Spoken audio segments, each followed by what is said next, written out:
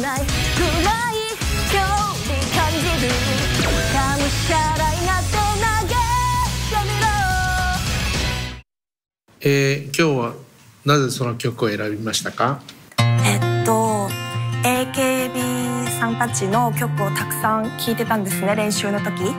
で「大きな川を渡れ」っていう内容とか「夢は遠くに見える」っていう内容などがすっごい自分の気持ちと同じだと思って